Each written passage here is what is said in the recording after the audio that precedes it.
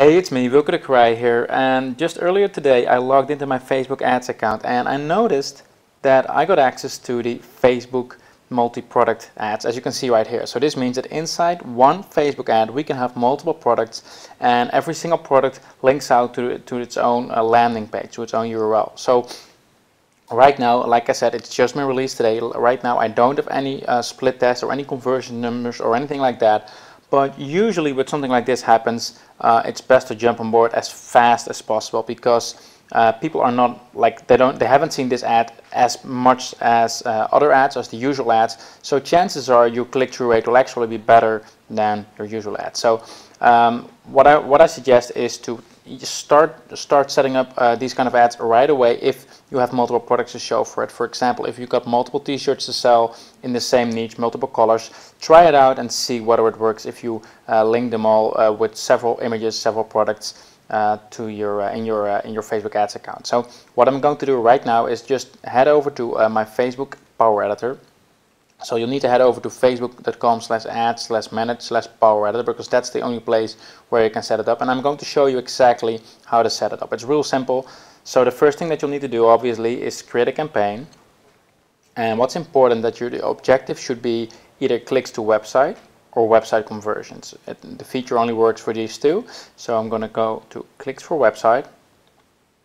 I'm going to ads, I'm going to create an ad, I'm going to add it here so create a new ad set test ad set um, multi-product test. I'm just going to show you how it works. Like I said it's it's really easy. Um, so first thing you'll do is just select a Facebook page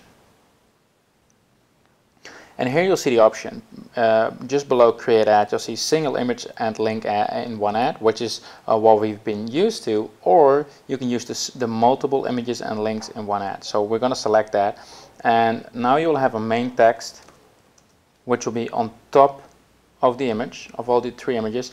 And here you'll be able to add one two and three separate uh, separate products. So let's say the first product would be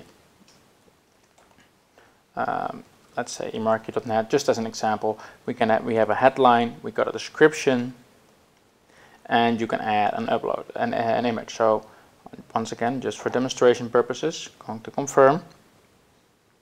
So this means, and of course the image should be 600 by 600 pixels uh, for best, so it's actually a rectangular image.